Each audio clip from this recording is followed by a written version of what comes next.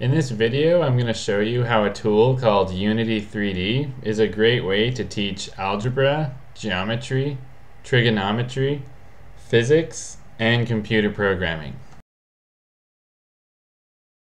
So what is Unity 3D? Well, it's a free tool that helps anyone make 3D games. Now you're probably thinking there's no way high school students can make 3D games. Well, have a look at these two games made by two of my 13 year old students. Unlike other education software, Unity 3D is also a real tool used by professionals. From experience, I can say that students know when they're using an education toy versus a real tool. And it's a lot easier to get genuine energy out of students when what they're doing is real. Now let's take a closer look at some of my lessons. So after my first class, which takes about an hour and a half, I've always been able to get my students as young as uh, 12 years old to make this first person uh, game where the mouse moves the camera around and the keyboard lets you walk and jump. Also in that first class, uh, get um, 100 cubes to, to appear because this is one of the most basic things you can get a computer to do is to do a hundred or a thousand of the same sort of thing. So this is a great lesson, um, not just because students really like it, but because it means you can teach trigonometry to uh, you know any level, even the elementary level. So here's the code that makes that happen. And if we go up, you know, you can show more advanced students this code here, or we go down. You can show students this code here, you know, sine, but you don't have to do that. You can even just look at just this and change these values around and just to see what will happen. So if I change A to 5, it changes the amplitude. If I change B to 12, it changes the frequency. And it's really a lot of fun uh, giving students this assignment because even if they haven't seen any trigonometry at all and they don't have the vocabulary to describe, you know, these changes they're seeing, you can still give them this assignment and there's a visual change and they can hop around on the wave and, and interact with it. And here's a similar lesson. Um, this Batman's going up and down on a sine wave. This one's going side to side on cos. And here I've just combined the two. And it's really easy to show that in, uh, in programming code.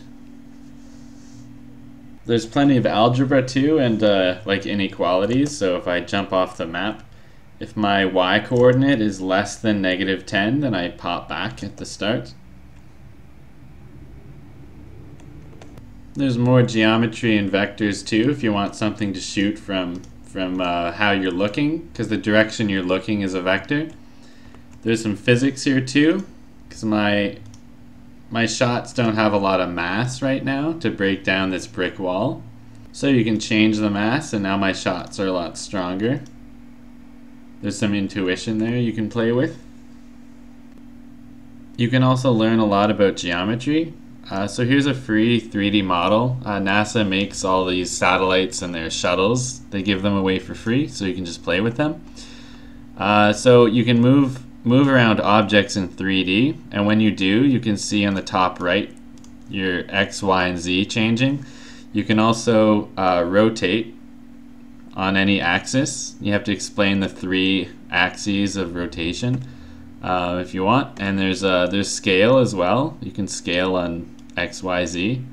So say this, this uh, shuttle's a little too big. I might make it 30% as big on all scales. And now it might actually be a good size for me to, to play with in my game.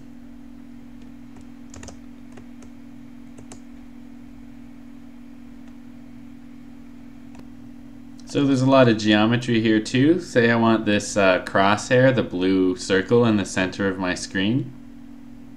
Then you have to explain to your students uh, some ratios about the screen. Like say this green box is our, our computer screen and the red is the crosshair we want. How do we know what coordinate to put for this top right right here. We need that coordinate. Well, what that's going to be is going to be the screen width, but divided by 2, and then the crosshair, the, the picture width, but that divided by 2. So you take half of the screen divided by 2 minus half of the width there. That's how you get the x coordinate right here. And students really like the recursion lesson, which is a math and a programming idea.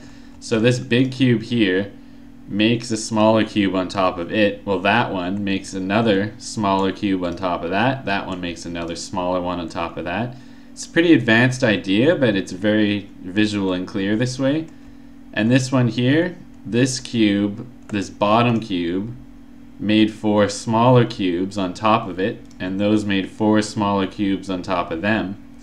And it's a very uh, impressive way to show uh, recursion. I've also made YouTube videos that review each lesson. They're designed for people with zero programming experience, and they save me a lot of time since I don't have to repeat myself in class. And I try to keep each video very short. Unity 3D is free. Uh, it even runs on 10 year old computers, depending on how detailed your game is, though. And by the way, the free license lets students sell their game without paying any fees, uh, so long as they make less than $100,000 a year, and that I'd love to see. The Unity editor runs on Windows and Mac, and the game itself runs on almost any system like Windows, Mac, Linux, and web browsers like Chrome, Firefox, and Internet Explorer. Uh, there are even ways students can share their game online for free. Like any web game, uh, then their parents and friends just click the link and play. To wrap things up, I think making 3D games is a great way to learn about math and technology. And even teachers with zero programming experience can use Unity in the classroom. Uh, just download the game I use that I made in my lessons and use them for interactive demonstrations. And from there, avid students can download the game too and experiment. Uh, so that's it. And if you're in education and need any help getting set up or have any feedback, definitely send me a message.